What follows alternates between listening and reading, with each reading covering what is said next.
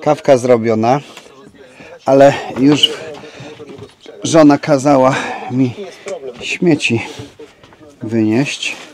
To czekajcie, weźmiemy i idziemy. I już Wam coś, coś pokażę. Idziemy śmieci wyrzucić. Zobaczcie ile tutaj jest kamperków. Oczywiście wszyscy śpią. Są tu takie luki wodne, ale zobaczcie jak wygląda ten poranek. Zobaczcie, budzicie się w takim, w takim miejscu, prawda? No jest, jest sztosik. No jest. Jak tu piknie. Dobra, a ja lecę ze śmieciarem. Tu mamy chymerka. Ja Wam powiem tak, na tym e, parkingu, którym oczywiście wiecie, że latem się nie dopchacie, nie dostaniecie, nie ma szans, stoi cztery chciałem powiedzieć cztery kampery z Polski, ale tak, Niemiec, Francuz, a tu jest e, Austriak. Wczoraj tutaj e, stało dwóch Polaków w tym miejscu, ale widzę, że oni bardzo wcześnie wyjechali, a reszta stoi w tamtą stronę. Także dzisiaj jest to wymieszane towarzystwo. Druga rzecz jest taka, że mm, podróżując po Lewkadzie przed sezonem zauważyłem jedną rzecz. Nie ma problemów ze śmietnikami. Totalnego nie ma problemu ze śmietnikami. Ale też musicie e, wiedzieć, że serwis ogarniecie tylko na kempingach. Dzikusy są bardzo trudne na Lewkadzie tutaj, bo na Halkidiki, jak żeśmy byli, no to dzikus był bardzo prosty. Nie ma tutaj segregacji, przynajmniej na razie. No ale to e, dobrze, że na przykład są te śmieciory. Też sobie nie wyobrażam, do czego by to doprowadziło, jakby tych śmieciorów nie było. Trochę to tak wygląda, jak, tak, jakby tak po wojnie. Takie miejsce w ogóle e, do top topów tutaj w Grecji, ta, ta plaża i to miejsce. No ale jednak tutaj trąci takim, kurczę, no ciężko powiedzieć, no taką ruiną, tak? Taką ruiną, ruderą. Mi się wydaje, że to już powinno być tu wszystko przeszykowane, wyszykowane, gotowe na e, otwarcie sezonu, tym bardziej, że faktycznie już te niektóre knajpy tego, no tu tak jakby huragan przeszedł, jakbyśmy w pandemii e, cho- chodzili w tym momencie, tak? No ale chcę Was pierwszy raz zaprowadzić na ten widok, bo wczoraj wieczorem nie mogłem się nim nasycić. Widok ze schodków jest, jest obłędny i takie, takie wyrzucanie śmieci to ja rozumiem. No, zobaczcie jak to wygląda.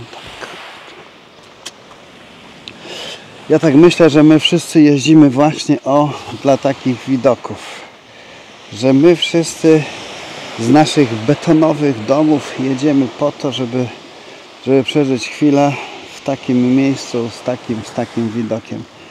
Jak te kamperki pięknie tam wyglądają w tym miejscu. Fantastycznie, naprawdę fantastycznie. Witajcie, witajcie w kolejnym naszym dniu. Jak, jak, jak widzieliście, przed chwilą musiałem wyrzucić śmieci. Tradycyjnie Adrianka była w łazience, bo to już tak normalnie. Znaczy, żeby nie było, ona nie jest zawsze w łazience. Nieraz z niej wychodzi i na czas podróży też siedzi, też siedzi z przodu.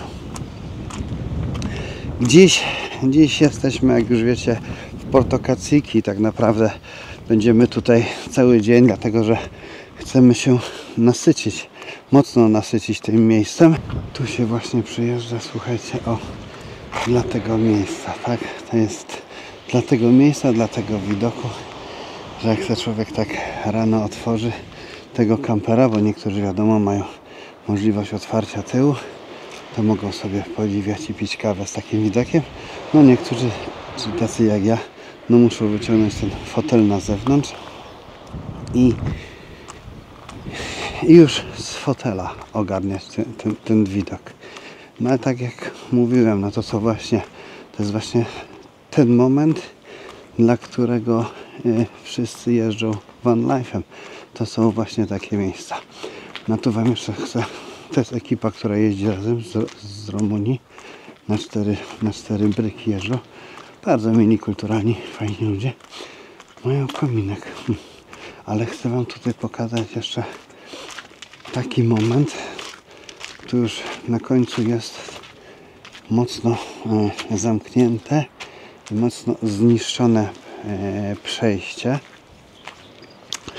Znaczy tak, są wszystkie znaki zakazu ostrzegawcze, ale mimo wszystko ludzie tędy nadal chodzą, żeby sobie tutaj zrobić też piękne, ładne ujęcie. No bo tak, tu do pewnego momentu jest ok, tak? To wszystko tutaj jest ok, no ale potem za chwilę, ale potem za chwilę tam już, tam już dalej nie jest ok. No, teraz uwaga, mm, przelecimy tutaj jakby dronem. O, i to jest ten moment, dla którego wszyscy chcą sobie tutaj zrobić zdjęcie. Niestety, niestety ten mostek nie wytrzymał bariery czasu. E, coś go mocno poniszczyło. Przejście na drugą stronę już e, graniczy z mega, z mega e, ryzykiem i z mega niebezpieczeństwem. Ja i tak jestem... Boże, jak Adrianna to zobaczy na filmie.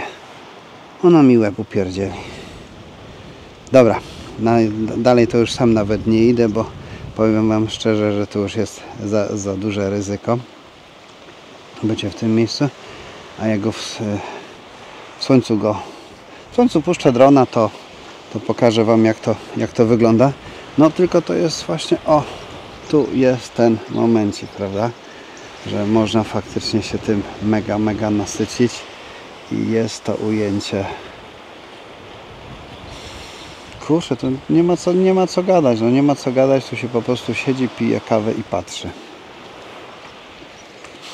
To ja wracam po tą kawę, a jak już tak fajnie słońce będzie z tej drugiej strony, no to pokażę Wam e, jak, jak to wygląda. No my będziemy chcieli znaleźć e, przede wszystkim, o kurczę, taka tutaj ryzykowne wychylenie, takie brawurowe wychylenie na tą, na tą stronę pionowe skały. Nawet się nie mam czego przytrzymać. Takie odrobinę brawury, ale dobra. E, wracamy. Wracamy. Mamy godzinę koło, 7, koło 17. Idziemy na plażyczkę i powiem Wam tak. No, pogoda się trochę e, zmieniła. Trochę to mało powiedziane. No, chmury zaleciały tutaj z każdej możliwej strony. Słoneczko przysłoniło, więc nie mamy słońca, ale jeśli chodzi o temperaturę to jest 20 parę stopni więc jest takie 20 parę stopni bez, bez słoneczka my tam na górze stoimy jak dobrze wiecie w tamtym miejscu a teraz zobaczymy jak gorąca jest e, tutaj woda. Rano przypłynęło parę statków z turystami. E, dwa, e, dwa katamarany i jeden taki mały wycieczkowy z głośną muzyczką. Grilla rozpalili, ludzie się wysypali na plażę, godzinka kąpieli była, no i potem już z powrotem. Więc ja powiem, że taka wycieczka niczego sobie, no bo tak w godzinkę na takiej plaży w zupełności wystarczy. Jak widzicie, nadal się tu ludzie opalają, chociaż nie ma słońca, to tak jak mówiłem, jest cieplutko. Jest naprawdę cieplutko. O, a my idziemy zrobić spacerek no i taki chill out, chill out na, na, na plaży, że tak powiem, nasycanie się tym wszystkim. Czy się coś, zobaczymy, może coś się tu wydarzy albo przydarzy. My w każdym razie No i rzut, e, rzut oka na plażę, jak z dołu wygląda. Mniej więcej, mniej więcej tak faktycznie te, te skały tutaj, te nowe doby robią olbrzymie wrażenie. A człowiek przy nich jest taki malutki. Jak tak gdzieś po, pod nimi się stoi i leży. Są tutaj takie fragmenty, że uwaga, nie podchodzisz do tego. Jest takie ostrzeżenie, ostrzeżenie tam na skałach, że kamyki mogą się posypać. No tak faktycznie zauważyłem dzisiaj, że tu jest jednak ludzie przestrzegają tego i nikt tam nie, nie podchodził pod tamtą stronę. E, wszyscy bardziej byli tak leżeli, jak tutaj. A co to znaczy byli, leżeli? No to rano przy, przypłynęły dwa katamarany w to miejsce. I tam jeszcze taki statek wycieczkowy przypłynął, 50 osób się wysypało. Grill, muzyka, te sprawy. No i rzut jeszcze na, na kamperki, które tam stoją w tamtym miejscu. Powiem Wam tak, yy, bardzo fajna miejscówka do takiego chilloutu.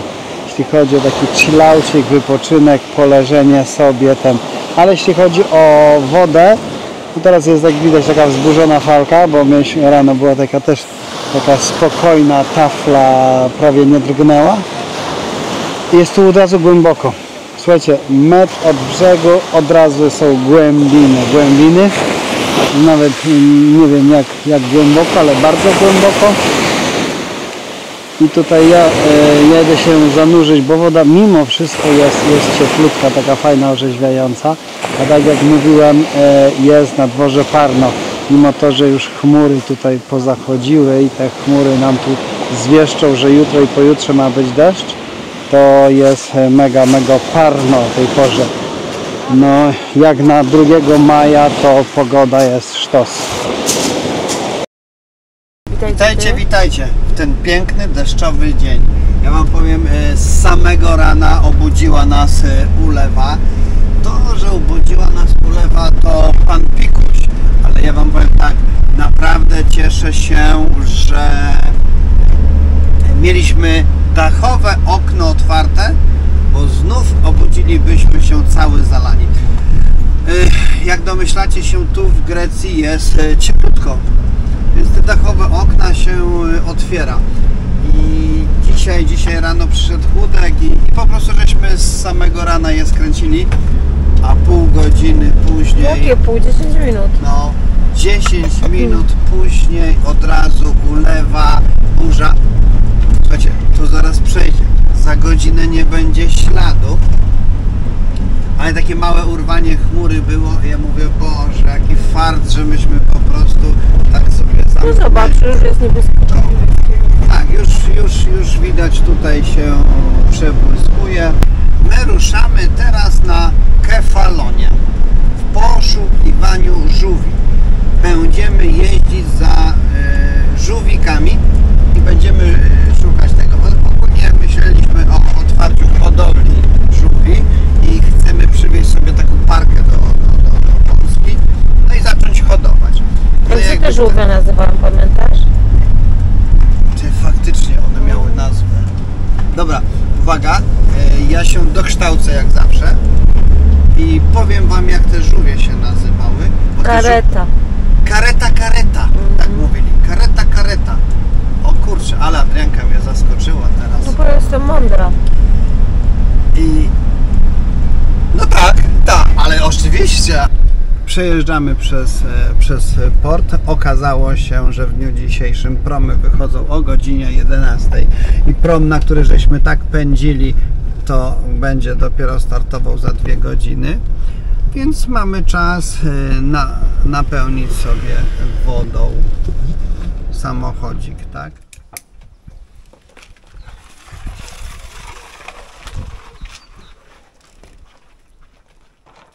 Zatrzymaliśmy się e, po tankowanie wody. To tankowanie wody jest w miejscu, w którym byliśmy dużo, dużo wcześniej, ale żeśmy po prostu się pomylili, bo wcześniej żeśmy e, zamiast przyjechać w to miejsce, to pojechali e, na ten cmentarz, który tu jest obok. Po prostu myślałem, że ta woda jest na cmentarzu, żeśmy się na niego przyjechali, a ona była naprzeciwko cmentarza. I dosłownie żeśmy skręcili o 10 metrów za wcześnie. Jak to mówią, o jeden most za daleko. No ale dobra, no. Mamy wodę bezproblemowo. Przyznaję, że, że tutaj na Kefalonii, tak? Aha, przyznaję, że tutaj na Lewkadzie są problemy z wodą. No nie jest ona taka, tak łatwo dostępna jak na Halkidiki. Nasz e, drugi wjazd do portu może okazać się, że nie załapiemy się na, na prom. E, byliśmy tu przed chwilą pierwsi, pojechaliśmy sobie zatankować wodę i niby jest godzina do promu, a jesteśmy ostatni i nie mamy bladego pojęcia. Tu jest litka stoi. To jest litka? Nie, nie, nie, nie, nie, nie. nie. I nie mamy bladego pojęcia, czy mamy jakiekolwiek szanse się załapania Aha, tam jest kolejka jeszcze na y, do, do biletów. Kasa jest otwarta. Dzisiaj promy płyną tylko, tylko e, dwa razy. O 11 i o 17, dlatego że jest tu święto. Znaczy, no piątego na przykład nie płyną, bo to jest główne święto piątego, a teraz już mają takie, takie jak u nas, tak? Długi weekend i zredukowali ilość promów. Więc zobaczcie, tak wygląda mniej więcej kolejka i zobaczymy, czy się załapiemy, bo tak, tak podchodzę do tego trochę sceptycznie, czy jesteśmy w stanie się tutaj załapać. Ponoć puszczają na trzy rzędy na promie, więc wyjdzie w praniu. Bardzo mi się podoba taki, taki układ takiej, takiej przyczepki. Już radzę. Im wcześniej przyjedziecie, tym dla Was lepiej. Godzina przed odpłynięciem prądu e, promu to stanowczo za, za, za mało. Zaraz się dowiemy, co oni ustalili. I co, co, co Nie ma ust... miejsca ani teraz, ani później. Nie wierzę. Pisaliśmy się na listę, ale nie wiemy na jaką.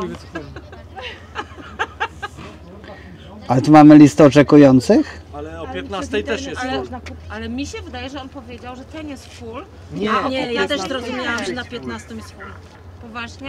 Ja spróbuję sobie przez internet e, zarezerwować. Zobaczymy, czy mi się uda. No to próbuj. Finał naszej przygody jest taki, że nie załapaliśmy się dzisiaj na prom i mówię dzisiaj, bo są dwa promy, ten o 11 i ten o 15 i niestety e, re, obowiązuje rezerwacja telefoniczna, internetowa z racji tego, że nie pływa 5 promów, a tylko, tylko dwa w chwili obecnej, to mm, miejsc, miejsc nie ma. Tam jak widzicie jest e, cały czas walka, walka o jakieś bilety i powiem Wam tak, no będziemy próbować kupić dzisiaj bilet na, na jutro. Mam nadzieję, że, że się uda. Tutaj Szczepan, wstawaj!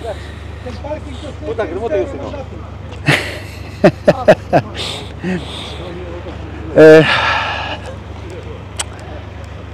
Finał jest taki, że na razie będziemy stali tutaj w takich okolicznościach przyrody, w marinie. Widoczek, widoczek też niczego sobie, żeby nie było. Ale e, pewno się przemieścimy, prze, e, pewno się przemieścimy. No i zobaczymy, no tak jak mówię, no, wszystko jest na, na, na spontaniach i przygodą. Chcąc, nie chcąc, e, będziemy sobie zwiedzać na spokojnie Wasyliki i tak naprawdę no, nie ma tego złego, co by na dobre nie wyszło. To sobie pochodzimy po, po miasteczku, poszukamy sobie znaczy, jakichś takich artykułów spożywczych, czekając na 15, bo nadal nie wiemy, czy uda nam się dzisiaj e, zabrać na kefalonie. Jesteśmy na tak zwanej liście rezerwowych. No ale fakt jest taki, że jesteśmy pierwsi na tej liście rezerwowych. No to, to już jest fakt znaczący. E, słuchajcie, byliśmy w Peszery na świeżej rybce. Szczepan się dowiedział, dostał tu cynka od miejscowego, która restauracja sprzedaje świeże rybki prosto z kutra. I faktycznie to prawda. Zamówiliśmy sałatkę grecką, e, kalmary, Szczepan zamówił okonia, a ja miałem doradę. Szczerze, wyjątkowo pyszne i rachunek myśmy zapłacili 42 euro na głowę piwkiem i wodą mineralną. Nie jest tanio, nie jest tanio, ale powiem wam tak, było wybitnie pysznie, wybitnie. I teraz zobaczcie kolejkę na, na kuter rybacki, którym będziemy płynąć. Kolejka jest niemiłosiernie daleka. No ale jak to się wszystko rozegra, to zaraz się dowiemy, dlatego że ja e, no niby jesteśmy teraz pierwsi, tak? Niby teraz jesteśmy pierwsi. Ale jak już żeśmy się wcześniej zorientowali, bycie pierwszym to nie znaczy, że uda się wjechać na, na prom. Obowiązują bilety, które ktoś już dużo wcześniej kupił lub tak zwane rezerwacje. Ponoć mamy, jesteśmy na liście rezerwacyjnej. Jesteśmy dobrego zdania, no bo gość tak mówił, że maybe się uda, maybe się uda, ale nie powiedział, że się uda. Teraz mniej więcej to tak wygląda, że tutaj jest, e, jak widzicie, kolejeczka, która grzecznie stoi i tak naprawdę chyba wszyscy chcą kupić bilet tutaj w, w kasie. No, Benek powiedzmy jest gotowy do wjazdu. Benek jest powiedzmy gotowy do wjazdu. No ale ja mówię, no, nie mamy biletu. Statek czeka, żeby wszyscy wjeżdżali, ale my nie mamy biletu. Za 15 minut będą wołać Benka do kasy. Zobaczymy. No wszystko na to wskazuje, że tym razem się uda. Tak jak mówiłem, że to, że jest człowiek e, pierwszy w kolejce do promu, to nie znaczy, że wsiądzie na ten prom. I dokładnie tak było dzisiaj z nami.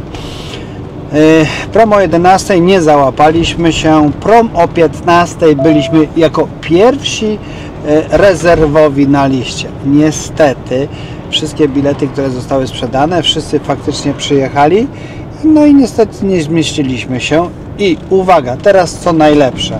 Jutro nie wiadomo, czy prom wypłynie, dzisiaj jest piątek, w sobotę nie wiadomo, czy prom wypłynie, bo tu idzie jakiś taki szkwał yy, pogodowy, i dopiero dowiemy się samego rana zadzwonią do nas, czy płynie prom.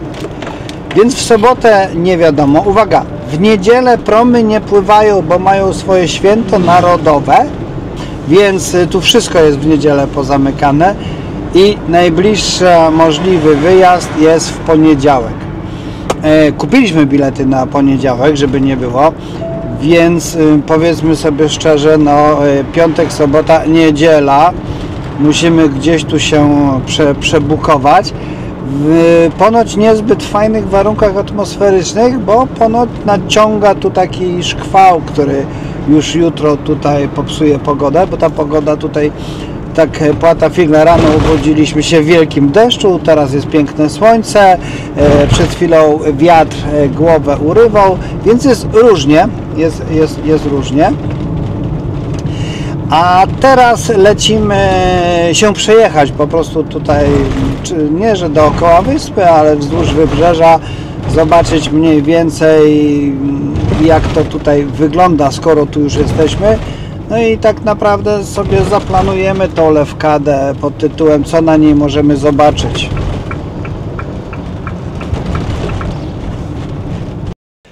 Witajcie, witajcie e, w ten piękny, cudowny dzień na, na Lewkadzie. Już Wam mówię, jest 4 maja, e, godzina 8.25. Stoimy w porcie. Tam w porcie widzicie dwa takie kutry krewetkowe. No, wczoraj mieliśmy możliwość e, wejścia na, na, na pokład.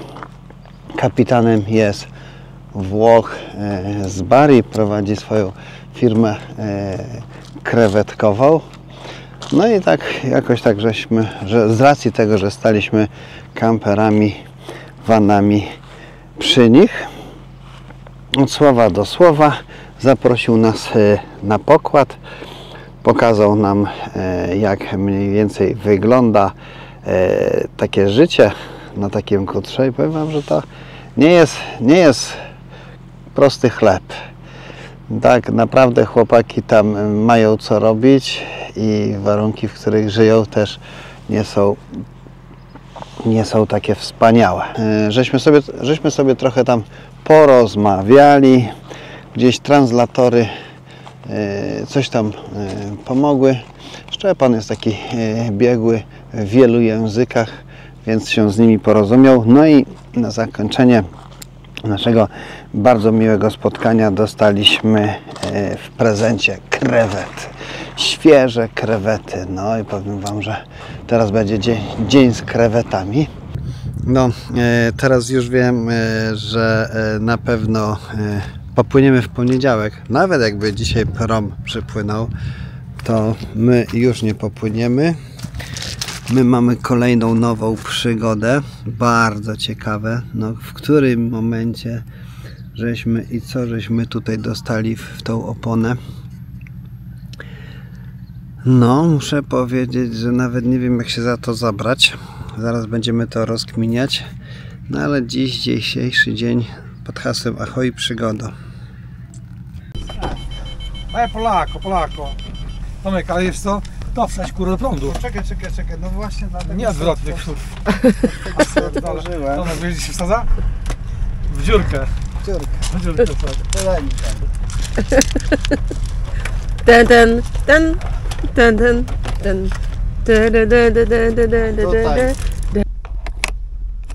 Prądu nie masz. Błąd zapłon w aucie. Tomek. Ja Tomek. Czekaj. Zapłon.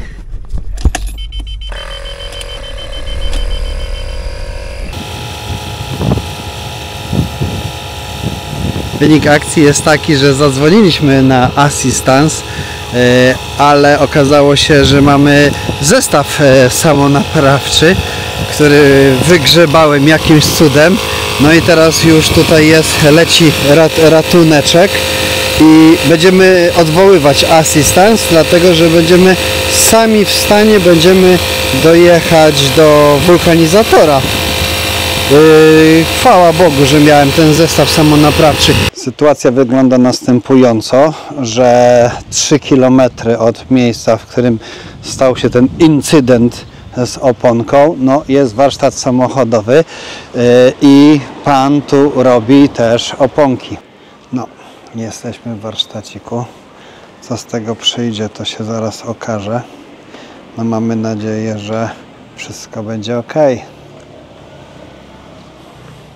I że to tylko jedna dziurka.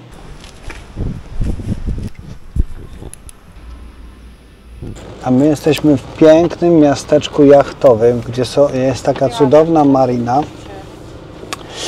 I powiem szczerze, że będziemy teraz tak delikatnie tędy jechali. Nie, nie będą na nas krzyczeć. Nie będą na nas krzyczeć, ale jest, zobacz jaki tu jest cudowny klimacik. Jest cudowny klimacik tego miasteczka. O. Bardzo się cieszę, żeśmy tutaj zaryzykowali ten przejazd i, i zaryzykowali ten przejazd, bo powiem szczerze, że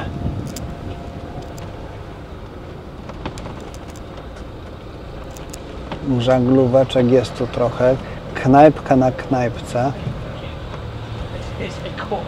Bardzo ładna marina, ale za to jaki przejazd. O. Wiesz co, tu chyba jest ten parking, bo ten kamper jakimś cudem tam wjechał na ten parking. Bo on tam ma, widzisz jak jadą? Od razu zakręcają. Od razu i od razu sześć kamperów przyjechało. To dobrze, że oni przez to, to bardzo ładna miejscóweczka. Niestety my sobie już ją tu opuścimy. Drogi na niektóre plaże naprawdę e, wymagają ostrożnej, ostrożnej jazdy. Jedziemy teraz na taką plażyczkę, e, która jest jak z bajki, jak z bajki o sierotce Marysi, ale dojazd, dojazd jest mega offroadowy. Niby, niby taka asfaltóweczka, ale ja Wam powiem tak, że jedziemy tutaj, żeby nie skłamać 10-15 na godzinę ja cały czas używam asystenta zjazdu i teraz zobaczcie jakie tu są zakręty. O, mega wysoko. Z jednego się cieszę, że tu po prostu nikt nie jeździ, bo to są drogi tak zwane nie do minięcia się. Słuchajcie, gdyby naprzeciwko jechał drugi taki kamper jak ja, no to naprawdę mamy kawał problemu. ale tu po prostu nikt nie jeździ. Czy są takie totalne dzikusy, yy, że po prostu jesteście sami. A Adrianka, pokaż tam, no pokaż to przez okno, jak widać.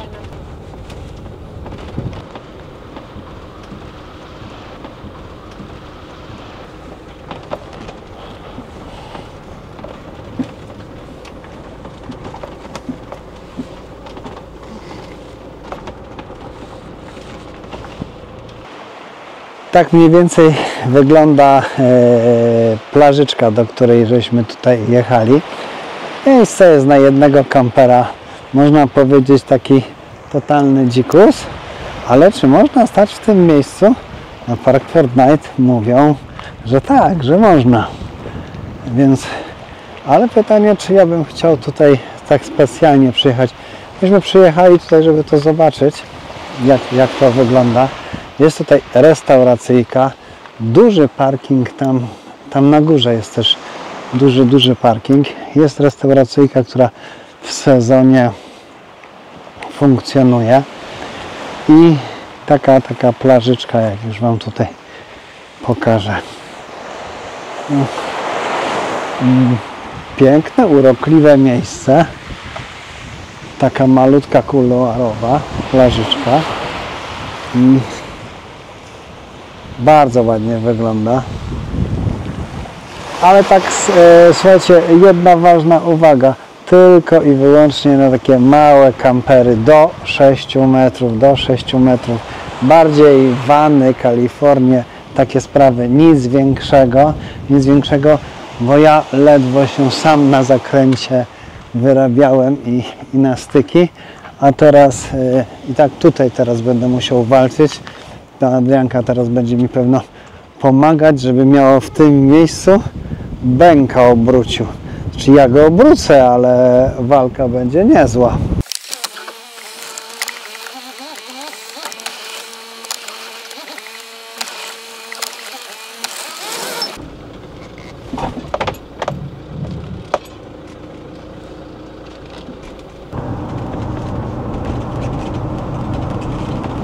Przebijamy się teraz przez, e, przez miasteczko. Oczywiście muszę uważać na pieszych, którzy idą środkiem ulicy. E, Samochody na poboczu. O.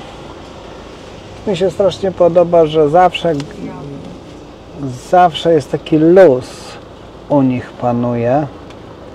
Że u nich panuje ten taki luz, w którym człowiek sobie idzie po ulicy, bo on ma teraz ochotę pójścia po ulicy, no ale ja to muszę uważać, żeby, żeby jemu się nic nie stało.